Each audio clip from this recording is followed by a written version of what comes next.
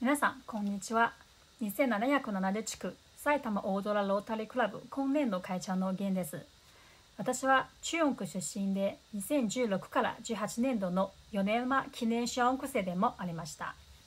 昨年10月に弊クラブが実施しましたモンゴル肝炎患者支援プロジェクトについて簡単に紹介させていただきます。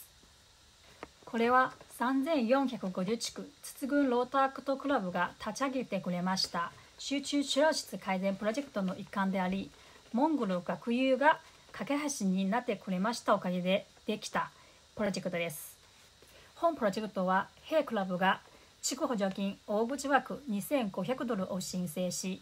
生体モニター1台と薬品キャビネット1台をモンゴル国立感染症センターに新たにできた集中治療室に起動した、えー、プロジェクトです。昨年日本の埼玉大空ロータリークラブと、えー、モンゴルの地政軍ロータークタクラブとともに、えー、モンゴルで医療支援プロジェクトを実施することができましたこのプロジェクトで当学友会が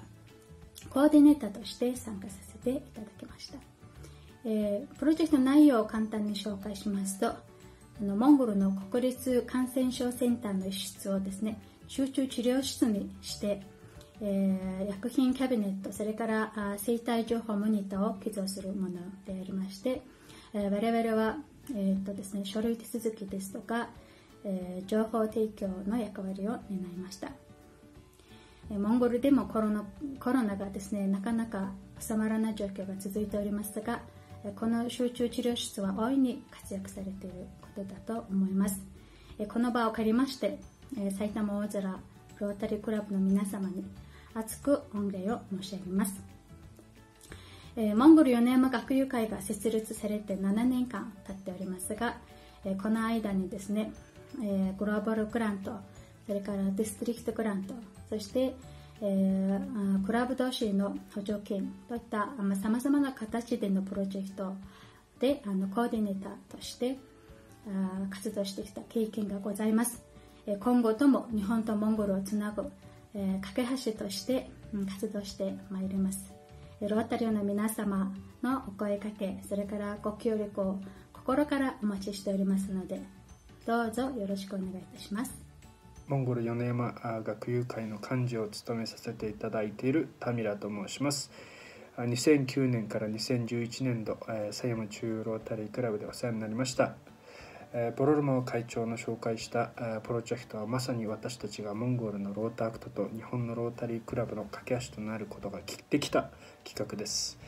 当企画に関しましてモンゴル米山学友会は企画し支援してくれた大空ロータリークラブコロナ禍実行し報告を怠らなかったツ軍ロータアクトには大変感謝しております。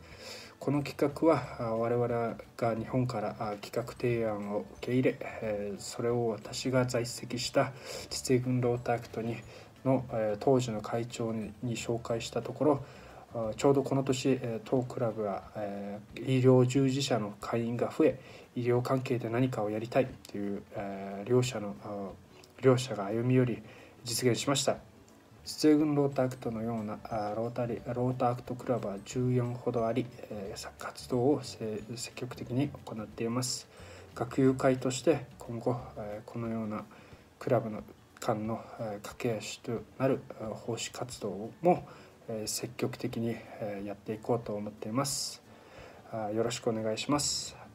本プロジェクトを実施することで米山学友の力強さを、えー、改めて感じしました。そして一番良かったと思うことは本プロジェクトを通じて筒群ロータークトクラブ埼玉大空ロータリークラブそしてモンゴル学友会の間に、えー、できた連携と、えー、友情の絆です。この絆を大切にし今後はズブなどを活用し友情を深めていくとともに次なる奉仕プロジェクトにつなげていきたいと思います。2020-21年度ですよね、の国際奉仕の活動で、この2月にメキシコの、えー、まあ、貧富の差と、それと教育の格差に注目をして、えー、労働財団の地区補助金というのを使って、えー、メキシコの、えー、公立小学校に、えー、電子黒板を寄贈しました。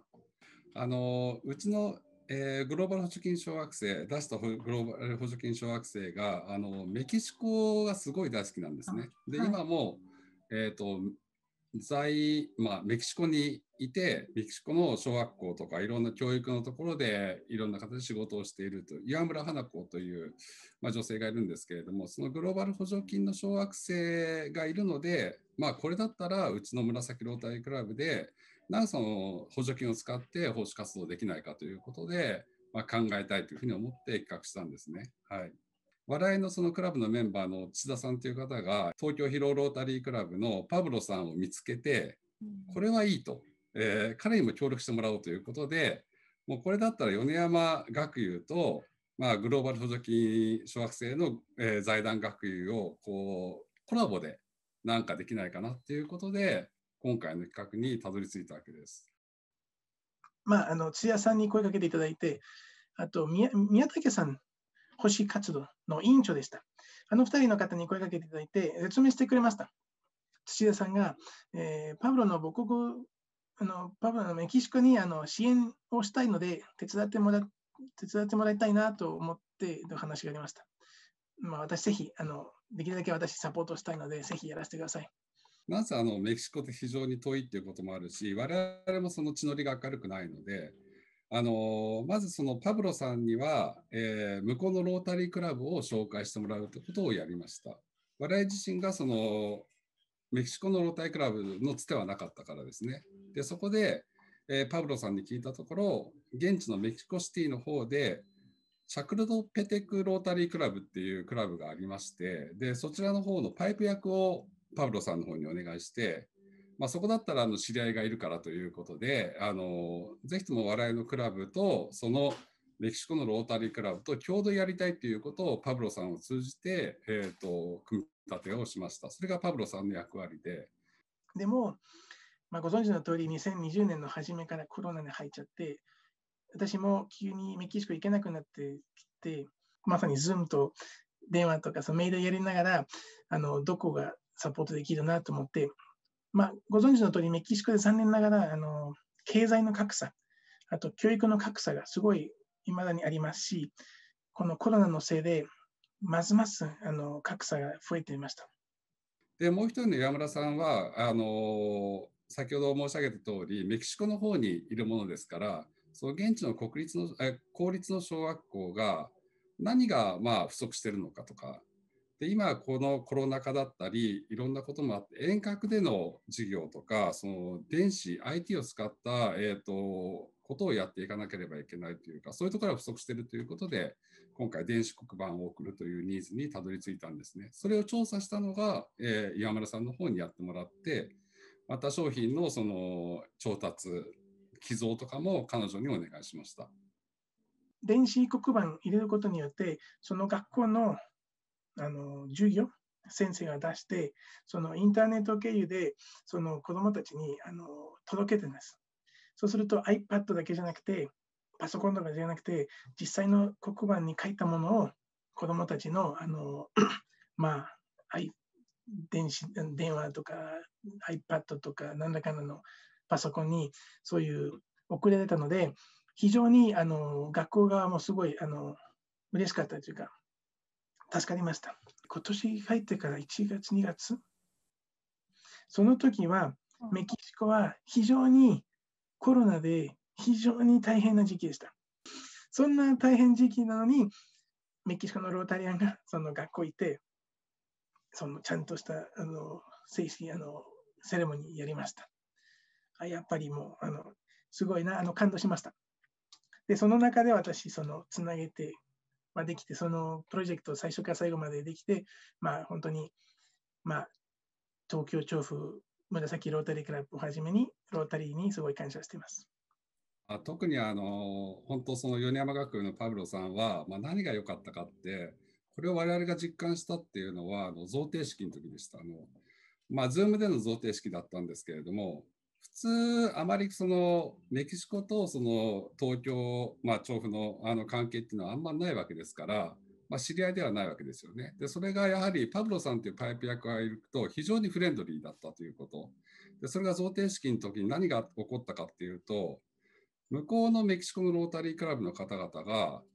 例えば自分の会社のオフィスだったり、ご自宅だったり、車の中からお一人お一人十数名、15人ぐらいだったと思うんですけれども、その方々があの一人一人熱いメッセージを我々に送ってくれたんですね。まあ、その日本からわざわざ遠いメキシコまであの寄贈してくれてありがとう大切に使うから見守っていくからみたいなことをお話しいただいたんですね。それを非常に印象深くて、まあ、この何て言うんですかあの信頼とか友情みたいなものをやはりつないでくれたのはパブロさんだなっていうのが非常に私としては今回米山学友の方を使って共同でできたっていうことが非常にありがたいなというふうに思っています。